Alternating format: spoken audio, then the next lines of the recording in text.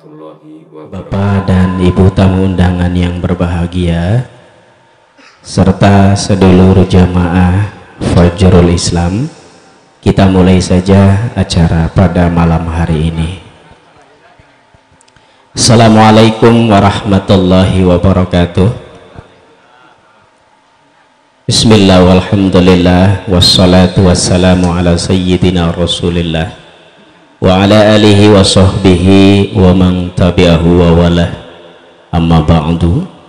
Yang kami hormati guru mulia kita Buya Syakur Yasin MA yang Alhamdulillah pada kesempatan malam hari ini bisa hadir kembali di tengah-tengah kita.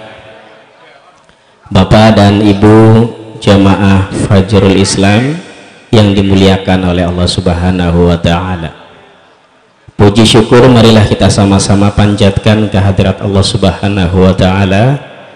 Pada malam hari ini setelah sekian lama kita tidak mengadakan kegiatan bulanan karena alasan sesuatu hal Alhamdulillah pada kesempatan malam hari ini Sabtu 26 November tahun 2022 kita bisa kembali mendengarkan nasihat-nasihat guru mulia kita. Dan ini adalah suatu anugerah buat kita semuanya. Salawat dan salam marilah dan semoga tercurah limpahkan kepada junjungan Nabi besar kita Nabi Muhammad Shallallahu Alaihi Wasallam beserta keluarganya dan para sahabatnya termasuk kita sebagai umatnya. Bapak dan Ibu tamu undangan serta sedulur jamaah Fajrul pada malam hari ini kita akan sama-sama mendengarkan kajian dari Buya Syakur Yasin dengan tema membedah makna Al-Fatihah. Acara ini disiarkan langsung dari Aula Zikir wa Mima Fajrul Islam Bantaragung. Baik Bapak dan Ibu serta seluruh jamaah Fajrul Islam, kita langsung saja uh, serahkan ke Buya Syakur Yasin kepada beliau dipersilahkan. Bismillah tawakkaltu 'ala Allah la haula wala quwata illa billah Asyhadu an la ilaha illallah wa asyhadu anna Muhammadar Rasulullah Allahumma salli ala sayyidina Muhammadin wa ala alihi wa sahabatihi ajma'in ma ba'd Ini terdengar jelas enggak? Kurang jelas ya?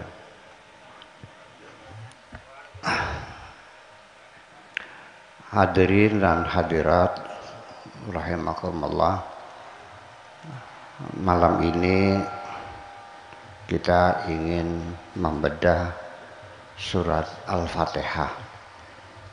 Merupakan salah satu surat yang paling populer. Karena surat ini dibaca di dalam sholat karena surat Al-Fatihah ini selalu dibaca ketika kita mendoakan teman-teman kita baik yang sudah meninggal ataupun yang masih masih hidup. Selalu Fatihah kita baca sehari-hari. Minimal sehari 17 kali. Yaitu Isya empat kali, subuh dua kali, zuhur empat kali, asar empat kali, maghrib tiga kali itu minimal tujuh belas kali. Akan tetapi orang membaca Fatihah ini tidak seragam ya bacaannya. Mengapa demikian? Ya, sebabnya ya banyak hal yang menentukan. Tetapi yang jelas bahwa orang membaca Fatihah saya melihat sendiri mendengar sendiri bukan hanya di Indramayu tapi sealam dunia. Saya mendengar orang baca Fatihah sealam sealam dunia dari cara baca Fatihah yang masih dipengaruhi dengan langgam lokal yaitu Alhamdulillahirabbil ngalamin Ar-Rahman Ar-Rahim sampai wala bedol bedolin. Ada yang wala bedolin ada yang wala bolin ada yang wala wala dolin macam-macam lah. Itu tidak akan kita bahas. Itu jelas karena apa namanya pembawaan ya langgam masing-masing. Yang ingin saya lihat adalah yang bacaannya yang fasih. Makharij hurufnya juga betul semuanya. Yang saya lihat bukan hanya di Indramayu tapi sampai di negeri Belanda di Inggris di Afrika Utara di Maroko Aljazair Tunisia Libya Mesir dan seterusnya dan seterusnya itu masih banyak sekali orang yang membaca Fatihah itu dipotong-potong. Seperti ini mereka membaca itu. Alhamdulillahirabbil alamin. Mandeg ya. Ar-Rahmanir-Rahim. Mana lagi ya? Malik Yaumiddin. Mana lagi ya?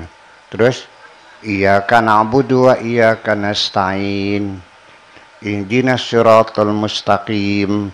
Suratul ladhina an'amta 'alaihim ghairil maghdubi 'alaihim waladdallin. Hampir yang baca dipotong-potong itu di negara-negara Islam bahkan di pusat Islam sendiri di Mekah ya bacanya begitu.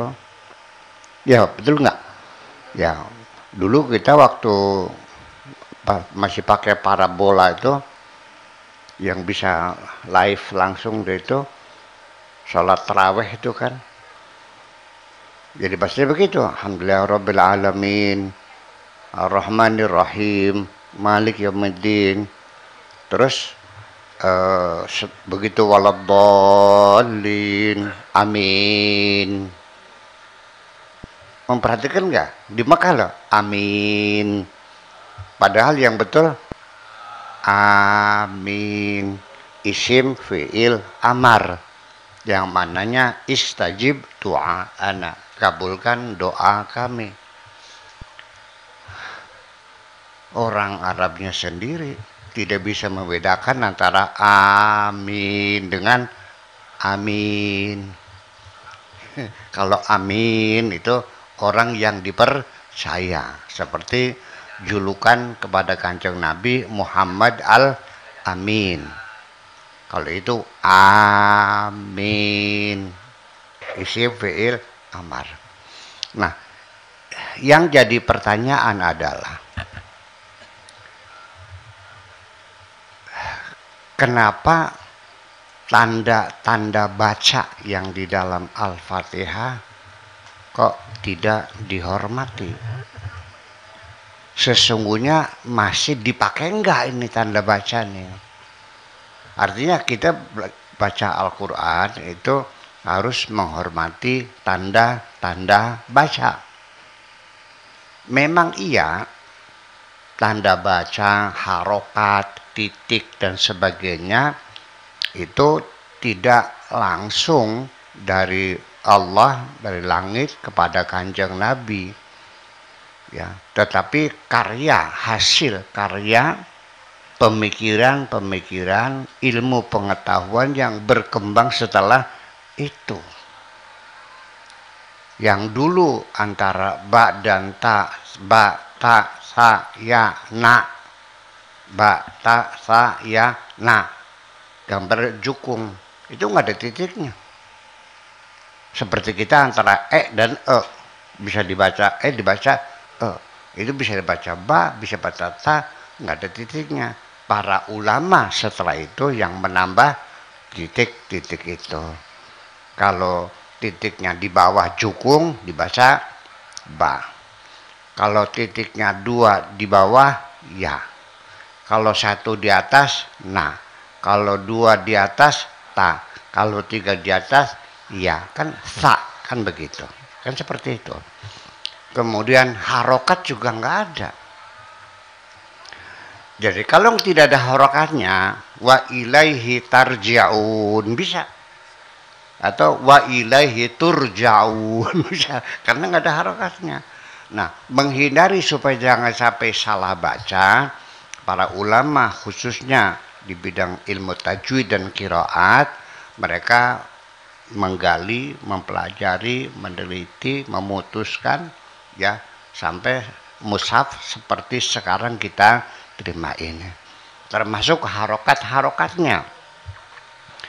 Di dalam harokatnya juga terjadi banyak perbedaan.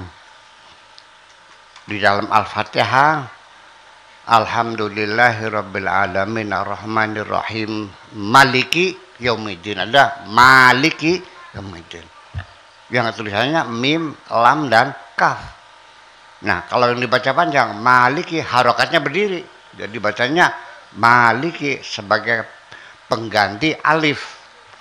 Nah kita jangan menulis al-fatihah mim alif lam kaf. Nggak boleh tetap aja. Mim lam kaf nggak ada alifnya.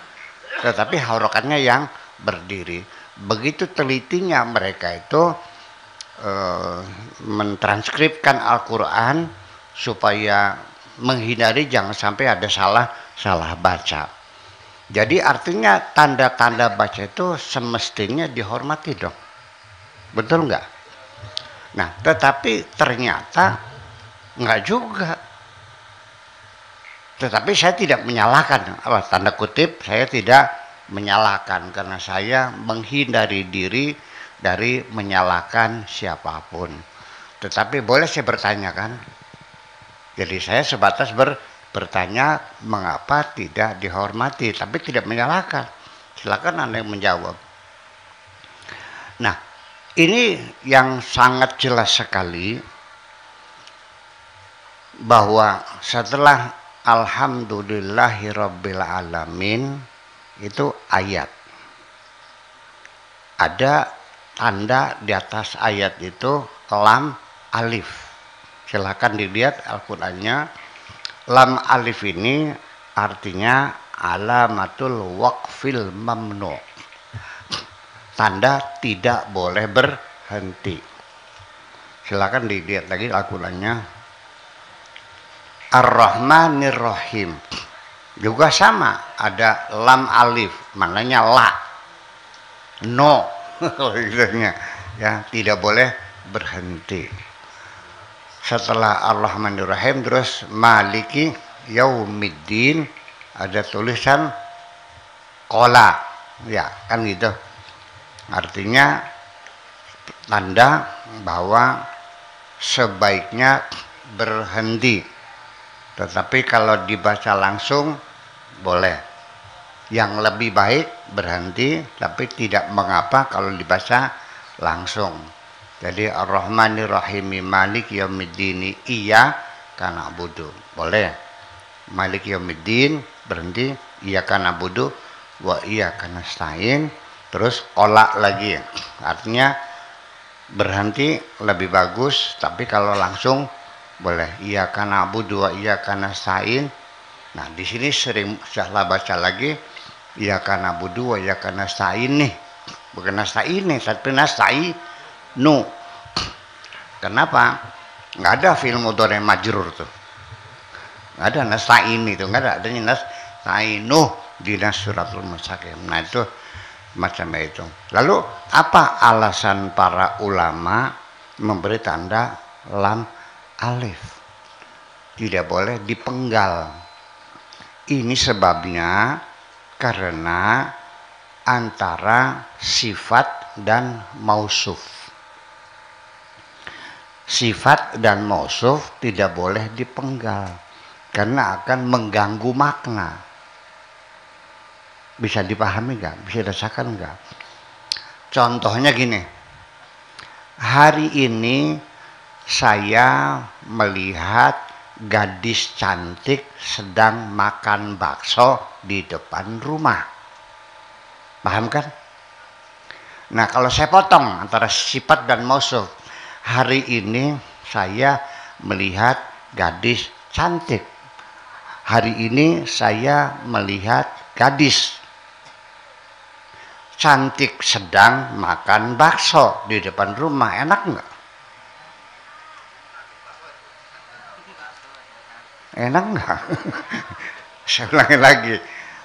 Hari ini saya melihat gadis. Mandeg cantik sedang makan bakso di depan rumah kan burak santak. Kacau maknanya nah begitu juga antara alhamdulillahirabbil alamin nggak boleh mandek ar-rahmanir rahim langsung. Malik yaumiddin juga langsung jadi berhenti di situ kemudian lanjut lagi iya karena budu iya karena tain berhenti di situ Nah baru ihdina suratul mustaqim sampai walad dodin juga nyambung semuanya. Jadi ada tiga bagian. Ini mah nurut silakan, enggak juga silakan, saya tidak menyalahkan. Cuma ya kalau anda bawa mobil, kalau tanda S street, boleh gak di situ stop? Mau stop silakan aja. Paling-paling diperipit. ya kan begitu. Tanda P, strip, mau, mau, mau berhenti di situ? Mau parkir di situ? Ya, silakan aja. Saya nggak saya tidak akan saya bukan polisi kok. Itu aja. Nah tetapi dalam al-fatihah ini bisa saja bisa saja kita berhenti Alhamdulillahirabbil alamin berhenti nah kalau sudah berhenti berarti titik kan. Kalau sudah titik akhirnya kalimat baru namanya istiqnaf. Kalau istiqnaf tadil rofa harus rofa. Jadi ar-Rahmanu Rahimu. Alhamdulillah Rabbil. Ar-Rahmanur Rahim. Ar-Rahmanur. Berhenti lagi boleh. Maliku Yaumiddin. Kenapa demikian? Karena nanti Ar-Rahmanu itu menjadi khobar. Limubtadain mahduf. Takdiruhu huwa. Jadi huwa mubtada. Ar-Rahman menjadi khobar. Wal jumlatu minal mubtada wal khobar. Fi mahali jarin tetap. Sifatu lafzul jalalah Gitu. Maliku juga sama, huwa malik yaumiddin. Ya. Khabarun limubtadain makhdhuf takdiru huwa wal jumlatu minal mubtada wal khabar fi mahalli jarrin juga yaitu sifatun li lafzul jalal alhamdulillahi lafzul jalal majrurun bi bilam ya maka sifatnya juga majrur. Atau juga bisa ar-rahman ar-rahima jadi maf'ulun bihi li fi'lin mahdhuf. A'ni ar-rahman. A'ni malika yaumiddin. Saya kira semacam itu. Jadi sebaiknya tapi saya tidak tidak menyalahkan bahwa dibacanya langsung seperti itu. Nah ini perlu dihayati karena memenggal kalimat itu tidak boleh ketika itu merupakan satu balungan apa balungan kalimat tuh? Menjadi kalimat utama ya. Ya mubtada khobar fiil fa'il. Ya kan begitu sifat mausuf mustasana mustasana minhu itu nggak boleh diber, nggak boleh dipotong karena akan merubah merubah makna nah antara mustasna dan mustasna minhu. Seperti wal asri innal insana lafi khusrin. Bolehkah berhenti situ? Nggak boleh. Lihat ada tanda lam, lam alif. Kenapa di sini dihormati, di Fatihah tidak dihormati? Kenapa? Apa bedanya? Sama kok. Ini mustasna, mustasna minhu. Kecuali sesungguhnya manusia itu dalam kerugian kecuali. Jangan kerugian mandang terus. Nah kecualinya misal. Antara fiil fa'il antara. Nah yang paling banyak yang tanda lam alif itu dan suratnya panjang-panjang itu di surat al-waqiah. Maka diperhatikan itu panjang banget sampai napasnya kadang-kadang nggak mentok. Nah, kalau napas kita nggak nyampe, silakan berhenti, tapi lalu di diulang lagi satu kalimat sebelumnya itu. Seperti indal insan lafi khusrin illa mandek. Ulang lagi illa ladina amanu wa amilus solihati wa tawasaw bil wa tawasaw bis sabr. Kemudian lagi mana yang bagus? Apa maliki yaumiddin atau maliki yaumiddin maknanya maliki itu pemilik. Kalau maliki itu malikun itu raja. Kalau malikun pemilik. Arrahmanirrahim kalau di sini panjang ya? Maliki nah kalau di negara lain maliki yaumiddin nah hampir-hampir mirip Tuhan pemilik hari akhirat. Tuhan menjadi raja raja di hari akhirat. Hebat mana pemilik dengan raja? raja lebih hebat dalam penampilan. Dalam artian bahwa dia terhormat. Ya kan gitu. Memimpin, mengatur ya. Tetapi dia tidak punya kekuasaan untuk melakukan apa pun terhadap negaranya yang sudah dimiliki oleh orang-orang. Begini, saya raja. Ini majelis dikirnya Jaul. Saya raja. Tapi saya nggak bisa berbuat sewenang-wenang ini. Ada pemiliknya. Siapa yang berhak untuk merubah bangunannya, mengadi gentengnya dengan ultiruf? Ya pemilik. Saya punya gelas ini, terserah saya mau dibanting, mau disimpan, mau dipakai, terserah saya. Saya pemilik, berkuasa mutlak untuk memperlakukan apa pun yang saya miliki. Raja nggak bisa ngambil sembarangan. Jadi bolak-balik ada sisi apa namanya saling saling melengkapi. Tetapi kalau kita perhatikan bahwa sifat kepemilikan Tuhan ini sudah tercover sebetulnya. Coba kita perhatikan. Alhamdulillahirabbil rabbil alamin. Memiliki. Bukan pemilik. Tuhan, majikan. Alamin Al-Rahmanir-Rahim Malik dari Rabbil Alamin sudah memiliki semuanya. Jadi kalau kita berpikir dengan variasi yang lengkap, ya sebetulnya ya maliki. Tapi ya sudahlah karena kita apa namanya sudah mengikuti mazhab Syafi'i, ya ya udah kita baca maliki ya ada masa dipanjangkan. Kemudian ini pernak-perniknya dulu. Ternyata di Mekah orang sholat itu ketika baca Fatihah tidak dibaca basmalahnya.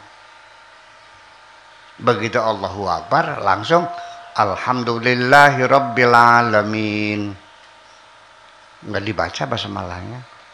Kalau di sini dibaca enggak? Yang benar mana? yang benar mana? Ini adalah perbedaan tinjauan. Kalau kita bermadhab syafi'i, itu kita melihat bahwa Bismillahirrahmanirrahim ini adalah ayat pertama. Bagian dari surat Al-Fatihah. Alhamdulillahirrabbilalamin ayat kedua jadi Fatihah itu bagian dari eh, basmalah itu bagian dari Al-Fatihah. Jadi Bismillahirrahmanirrahim ayat pertama, Alhamdulillahirrahmanirrahim yang yang kedua. Tetapi mazhab Maliki yang dipakai di Saudi Arabia itu basmalah bukan bagian dari Al-Fatihah. Jadi ya tidak dibaca langsung alhamdulillah rabbil alamin. Kemudian yang ketiga ada lagi mazhab Hambali yang mengatakan bahwa basmalah bagian dari Al-Fatihah dibaca hanya dibacanya perlahan. Jadi begitu Allahu Akbar, pelan-pelan baca Bismillahirrahmanirrahim. Nah baru Alhamdulillahnya dengan suara keras. Jadi Bismillahirrahmanirrahim. Alhamdulillahirabbil alamin. Nah, dengan demikian jadi itu sudah bervariasi. Nabi Muhammad sendiri sholatnya baca basmalah nggak ya? Nggak tahu. Saya tidak menemukan petunjuk yang pasti bahwa Nabi baca atau tidak. Sehingga mengakibatkan para ulama berbeda pen pendapat. Dan mereka juga tidak petunjuk tidak punya petunjuk yang pasti. Kalau ada petunjuk pasti tentu tidak akan berbeda dong. Betul nggak? Berarti selama sekian puluh tahun setelah 80 tahun Nabi meninggal dunia tidak ada petunjuk yang pasti. Nabi baca basmalah atau tidak Akibatnya masing-masing ulama beristihad. Ada yang membaca, ada yang tidak, ada yang dibacanya pelan pelan-pelan. Nah, alasan yang mengatakan bahwa basmalah itu bukan bagian Fatihah, alasannya apa? Alasannya basmalah itu hanya sebagai pendahuluan, bukan bagian Al-Fatihah. Kita mau minum juga baca bismillah kok. Betul nggak? Bismillahirrahmanirrahim. Apakah bismillah bagian dari air? Ya tidak. Kita mau makan juga bismillahirrahmanirrahim. Kita mau mengerjakan pekerjaan-pekerjaan yang baik juga baca bismillahirrahmanirrahim. Jadi bismillah adalah bukan bagian Al-Fatihah yang semacam itu. Buktinya mana? Ada di salah satu surat yang ada basmalahnya. Surat apa tuh? Surat atau apa? Atau Al-Baro'ah ya. Itu nggak ada basmalahnya kan. Berarti nah itu yang jadi persoalan jadi pertengkaran antara basmalah bagian Fatihah tidak ternyata ada surat yang tidak ada bas basmalahnya kalau begitu surat At-Taubah basmalah bukan bagian dari surat At-Taubah, tapi di Fatihah termasuk ya itulah. Ya udahlah mereka bertengkar sendiri silakan. Saya tidak menyalahkan yang mana pun juga kan gitu. Nah, oke. Okay. Selanjutnya bahwa kita ini dari sejak kecil sudah diajari mulai madrasah ibtidaiyah kalau mau makan disuruh baca Bismillahirrahmanirrahim. Mau minum Bismillahirrahmanirrahim. Mau pakai baju Bismillahirrahmanirrahim. Mau berkendara Bismillahirrahmanirrahim. Hampir semua pekerjaan kita awali dengan Bismillahirrahmanirrahim. Itu berdasarkan hadis Nabi yang mengatakan kullu amrin ribalin la yubda'u fihi. Bi bismillahirrahmanirrahim. Fahuwa aqta apa saja pekerjaan yang baik apabila tidak dimulai dengan membaca bismillahirrahmanirrahim sama dengan kuda yang buntutnya dipotong. Artinya Pak buntut itu enggak nggak penting banget sih ya kan? Tetapi akan menentukan harga. Kuda balap juara lomba yang memenangkan berkali-kali harganya satu miliar. Tetapi ketika buntutnya dipotong harganya berapa? 100 juta nggak satu miliar. Tapi kan larinya masih kenceng juga kan, yang gak ada urusan. Saya kalau kuda nggak ada buntutnya nggak pantas. Ya, buntung nggak ada buntutnya. Iya, dia udah buntung. Larinya kenceng. Kok kenapa jadi 100 juta harganya dari satu miliar? Buntut berapa sih? Memang iya buntut memang ada harganya. Tetapi pantas nggak? Nggak pantas. Dan harganya menjadi murah. Itulah makanya kita mulai apa saja dengan mengucapkan Bismillahirrahmanirrahim. Nah kemudian maksudnya apa Bismillahirrahmanirrahim itu? Nah di sini yang uh, kita mulai pembahasan Al-Fatihah itu bahwa sementara kita melihat bahwa makna Bismillahirrahmanirrahim itu dengan nama Allah yang Maha Pengasih dan Maha Penyayang. Ada lagi dengan nama Allah yang Maha Pengasih lagi Maha Penyayang. Ada yang dan, ada yang lagi, nggak tahu lagi mancing barangkali. ya lagi mancing, ya nggak tahu lagi itu apa lagi apa lagi lagi mandi lagi minum lagi mancing di sini yang jadi persoalan adalah apa kaitannya saya minum kemudian dengan nama Allah. Mungkin mungkin ini mungkin ketergesahan menerjemahkan bahasa Arab ke dalam bahasa Indonesia karena bi di sini harfu jarin memang yang paling populer yang sehari-hari kita dengar dalam percakapan bahwa ba itu maknanya dengan. Jadi bismillah dengan nama Allah, bi dengan isim nama Allah, dengan nama Allah. Situ persoalannya dengan. Ya mungkin tidak bisa disalahkan juga ya karena mereka juga yang menerjemahkan itu 11 orang profesor. Para ulama besar di Indonesia para profesor semuanya. Tapi profesor di bidang ilmu fikih fukoha di bidang hukum bukan profesor di bidang linguistik. Bukan profesor nahu bukan profesor sorok. Mungkin awalnya bismillah dengan nama Allah. Di dalam bahasa Jawa di pesantren-pesantren memaknai bismillahirrahmanirrahim itu bismillah ngawiti ingsun kelawan nyebut asmane Allah ngawiti ingsun kelawan nyebut asmane Allah Mungkin dari situ awalnya menjadi dengan nama nama Allah. Tetapi kita mesti tahu bahwa alba harfu jarin itu dalam bahasa Arab eh, pernah saya hitung sekitar 36 makna. Ya, tidak saya bahas seluruhnya. Sebagai contoh saja, ada namanya ba itu ba zaidah sebagai pemanis kata. Tidak bisa diterjemahkan.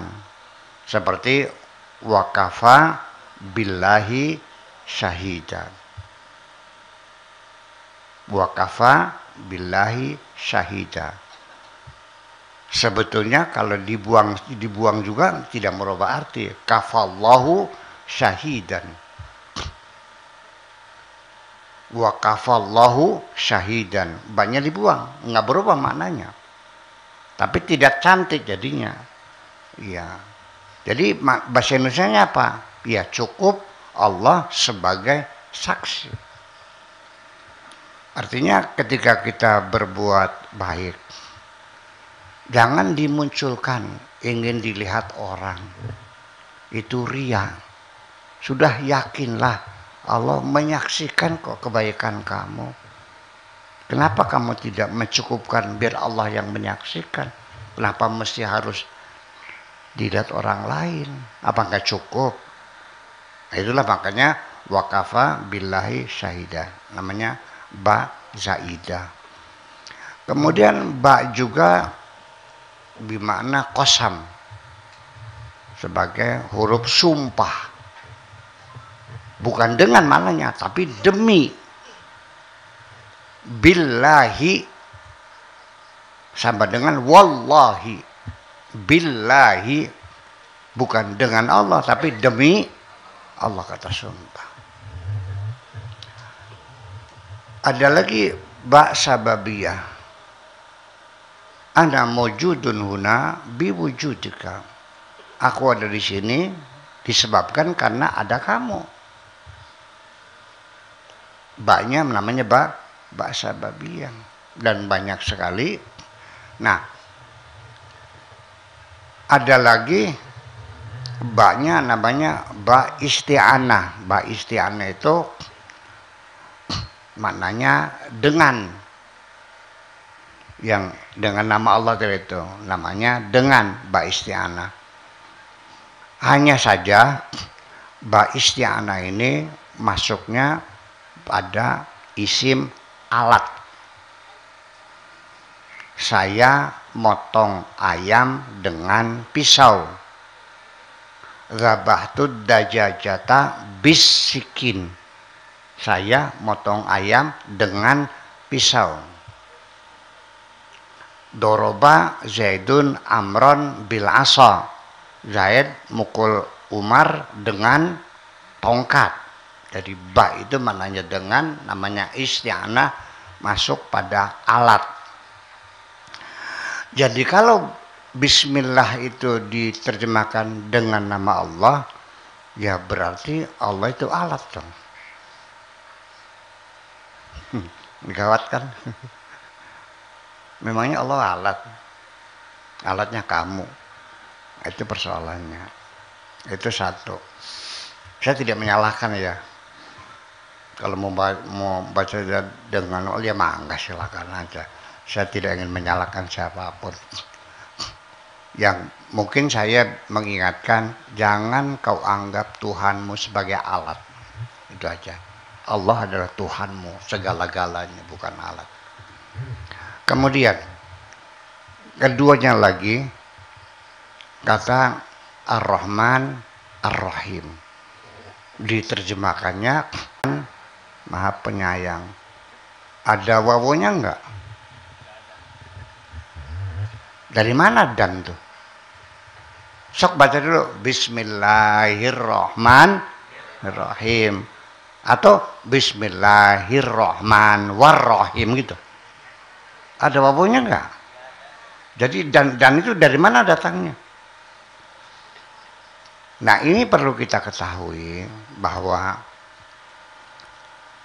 Ar-Rahman satu sifat, Ar-Rahim satu sifat digabung menjadi kasih sayang.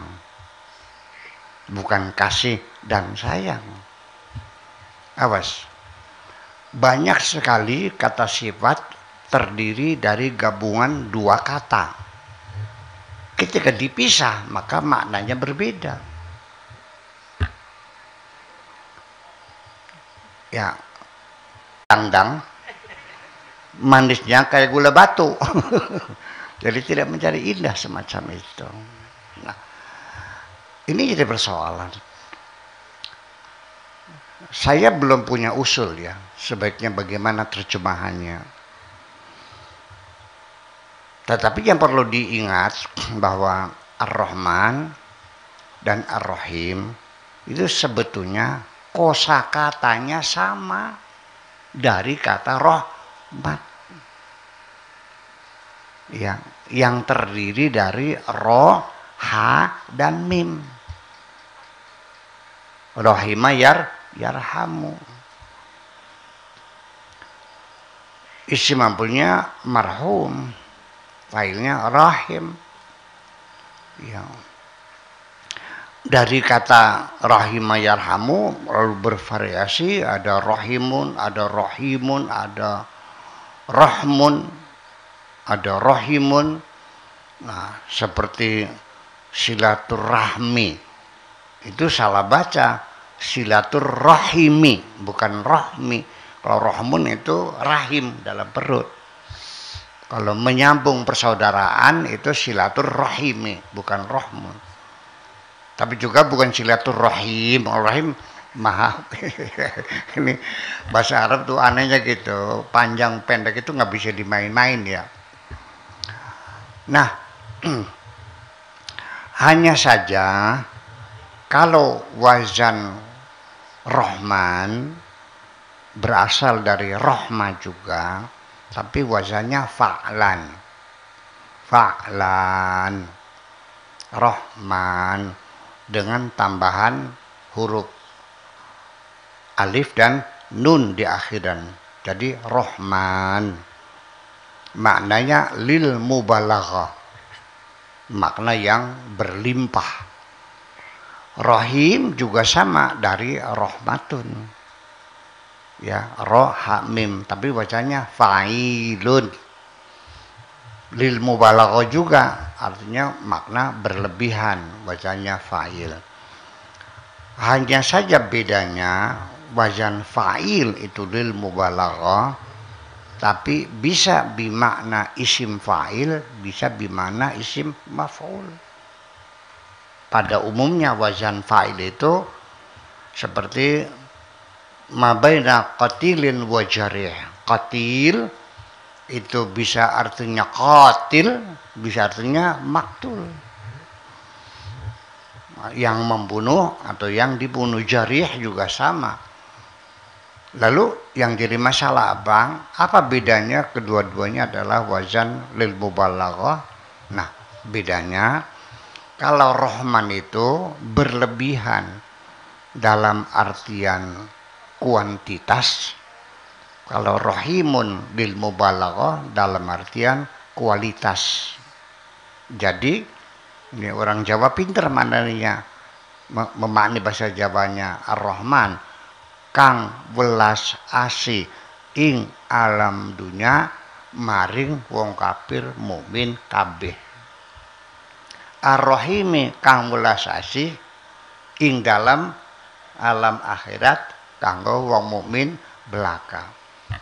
Jadi kalau Ar-Rahman itu berlimpah ruah tak terhingga. Tapi kalau Rahim berlimpah ruah tak berkesudahan. Terus sampai sampai akhirat itu sense of language-nya ya untuk tumbuh ya perlu banyak pengalaman juga. ya, kamu mesti tinggal dulu di Arab 20 tahun baru bisa merasakannya itu. kalau hanya belajar nggak bisa itu ya. Jadi artinya bahwa jadi bagaimana? Nah begini. Saya melihat yang paling cocok menerjemahkan bismillah itu bukan dengan nama Allah tapi atas nama Allah. Jadi baru nyambung. Ketika Nabi mengatakan perlu amrin ribalin la yubda'u fihi bi bismillahirrahmanirrahim. Bahwa setiap pekerjaan baik yang tidak dimulai dengan bismillahirrahmanirrahim sama dengan kuda yang dipotong buntutnya. Tidak bernilai. Kalau kita minum tidak baca bismillah tidak bernilai tapi dengan baca Bismillahirrahmanirrahim baru ber, bernilai, baru ada artinya. Artinya bahwa atas nama Allah itu memberikan indikasi makna bahwa sesungguhnya bukan hawa nafsuku aku minum. Bukan karena aku dahaga aku minum. Tapi aku minum sedang melaksanakan perintah Allah. Itulah makna ibadahnya. Paham nggak? Atas nama. Ini menjadi bahasa baku sesungguhnya mah nggak bisa dibantah. E, bunyi proklamasi Indonesia kami yang dibacakan Bung Karno itu kami atas nama bangsa Indonesia dengan ini menyatakan kemerdekaannya. Kami atas nama bahasa Arabnya nahnu bismi bismi sya'bil Indonesia bukan dengan nama bangsa atas nama maksudnya apa Bung Karno mengatakan atas nama. Artinya yang ingin merdeka bukan saya, bukan saya dan Pak Bung Hatta. Yang ingin merdeka adalah bangsa Indonesia. Yang menyatakan merdeka adalah bangsa Indonesia. Saya hanya penyambung lidah rakyat, paham enggak?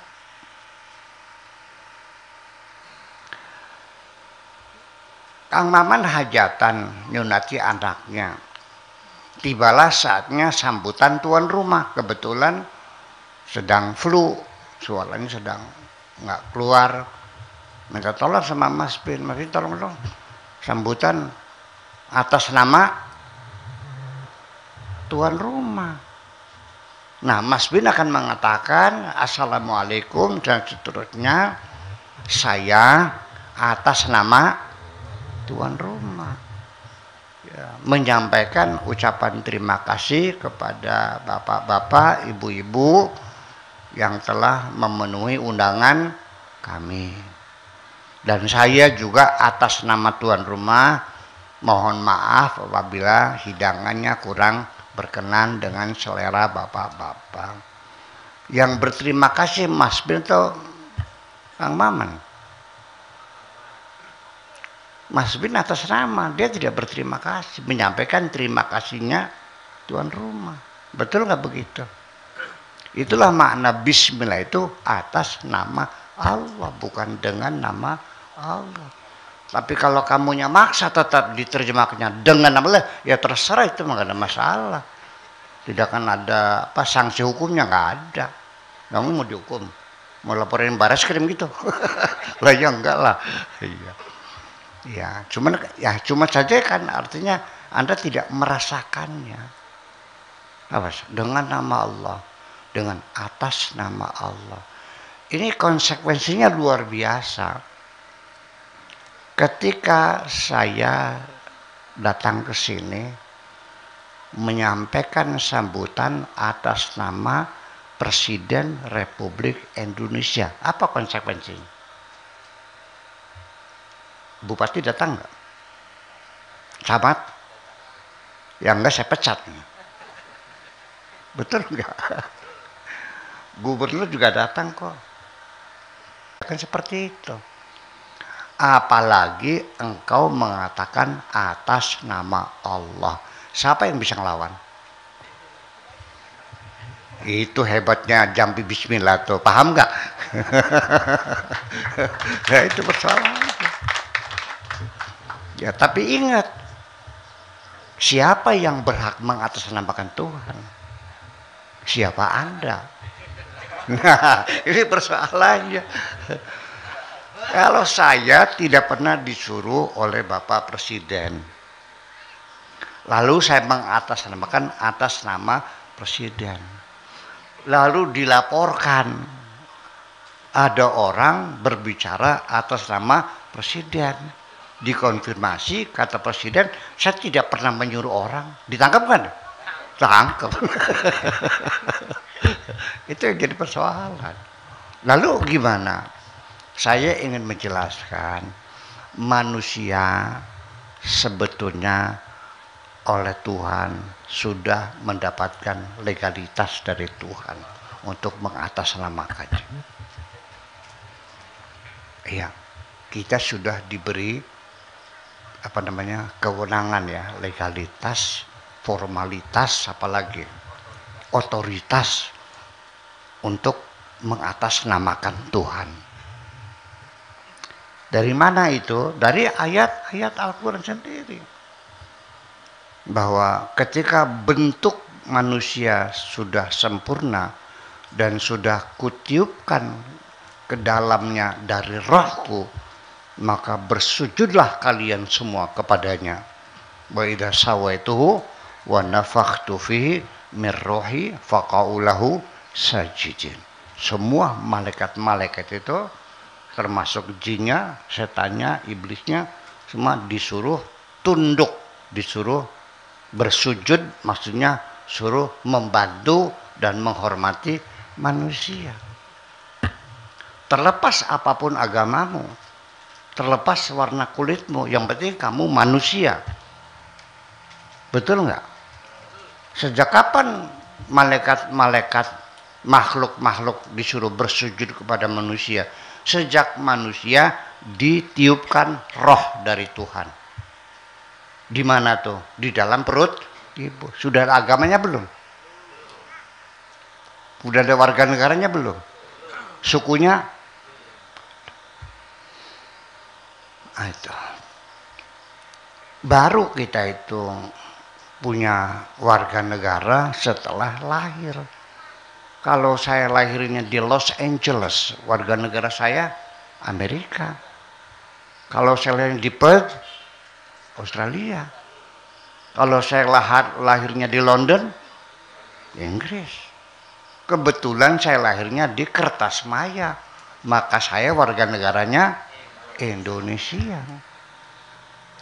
Setelah lahir, setelah bisa merangkak, bisa berjalan, sekolah madrasah ibtidaiyah, sekolah SD, menjelang umur 15 tahun, saya dinobatkan sebagai muslim. Baru saya menyandang agama saya. Karena yang beragama itu mukallaf. Sudah akil dan dan balik. Umur 15 tahun baru saya ber, beragama. Jadi ada kaitannya enggak manusia sebagai manusia di dalam perut ibu dengan agama dan warga negara enggak ada. Makanya hormatilah manusia. Jangan dikaitkan dengan warna kulitnya hitam atau putih, enggak ada urusan.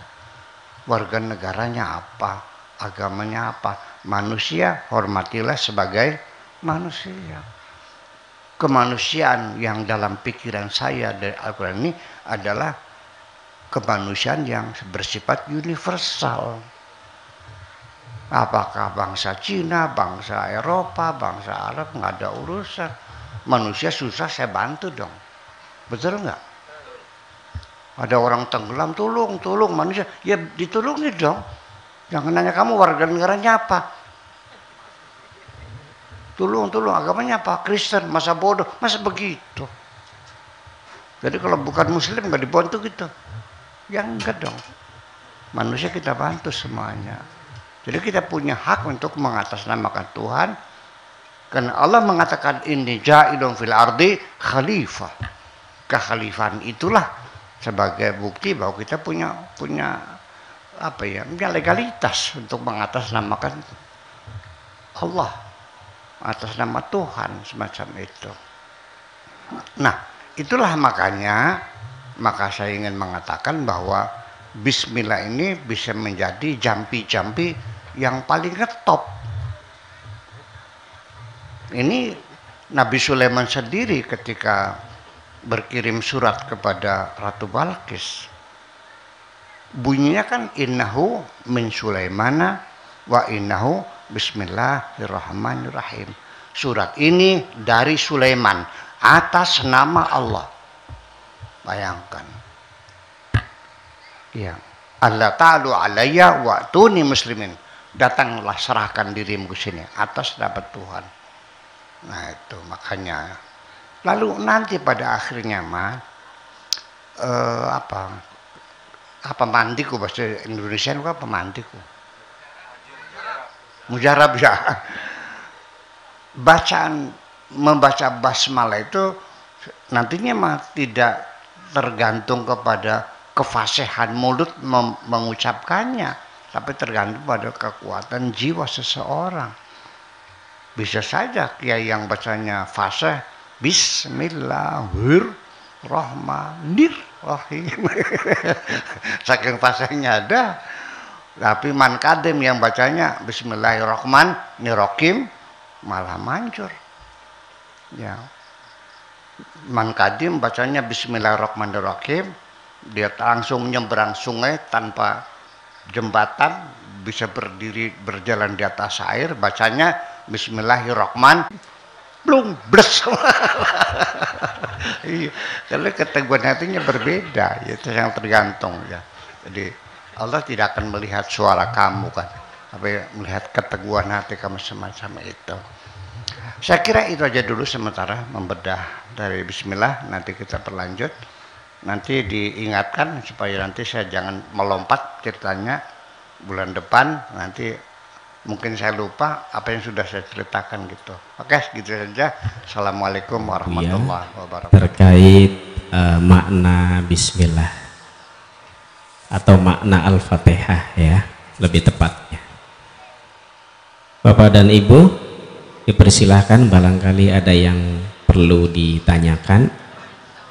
Baik dari bapak-bapak ataupun dari ibu-ibunya ini yang mau bertanya dipersilahkan.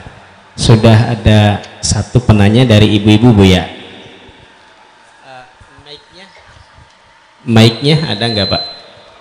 Ya persilahkan Mbak takwa itu kah boleh untuk main-main karena karena kan banyak dalam le, kalangan ibu-ibu lah khususnya e, untuk meyakinkan teman-temannya wallahi demi Allah tallahi apakah itu boleh untuk seperti itu e, cukup pertanyaannya Terima kasih. Wassalamualaikum warahmatullahi wabarakatuh. Itu berkekuatan hukum. Nanti dalam kasus pengadilan itu ketika seorang saksi nah, itu diangkat sumpah ya demi Tuhan saya bersumpah untuk mengatakan yang benar ya kan gitu Kemudian dia bohong, ada sanksinya. Ada kifaratnya. Ada sanksinya. Itu dalam kasus hukum. Tetapi dalam ucapan sehari-hari di negara Arab dan di kita juga kadang-kadang banyak yang bermain-main kata sumpah itu hanya pemanis saja apalagi di arah Panjunan di Cirebon tuh. Wallahi, wallahi, bohong barang wallahi. wallah, wallahi. Ya itulah jadi pemanis. Lain kasusnya formal di pengadilan, di atasnya Al-Quran, dia bersumpah itu berkekuatan hukum. Tetapi kalau ucapan sehari-hari ya, ya sebetulnya nggak pantas juga sih. Tapi ya kalau tradisi gimana ya? Yang nggak bisa dong lalu kita orang dijerat hukum anda bersumpah itu kan di dalam kasus hukum sumpah itu jadi pada akhirnya ujung-ujungnya pembuktian itu atas tindakan kejahatan seseorang dan sebagainya ketika yang terdakwa itu dia mempunyai bisa membangun alibi-alibi bisa lepas dari jeratan hukum. Nah makanya Sumpah itu adalah terakhir ketika secara fakta, faktual, secara materi kita tidak bisa membuktikan kesalahan orang itu ya ujungnya siap sumpah, siap sumpah udah. Kalau dia bersumpah ya udah selesai hukumnya. Nah makanya itu hukumannya sumpah itu adalah menjadi berkekuatan hukum. Bisa-bisa orang bahkan malah dikriminalkan akhirnya mendapat hukum karena sumpah sumpah palsu macam itu. Nah, untuk itu saya tidak lebih hanya menganjurkan ya nggak usah banyak demi-demi lah. Ya, kalau demi boleh, demi dedemit. demi dedemit. itu boleh, jangan demi Allah. Itu sekalipun main-main tapi tetap juga sesungguhnya tidak elok lah kita mengatakan. Ya adapun di Cirebon di Panjunan di sana di Pesayangan Perujakan gitu yang banyak komunitas Arab wallahi wallahi. Itu setiap hari bilang wallahi itu. Iya.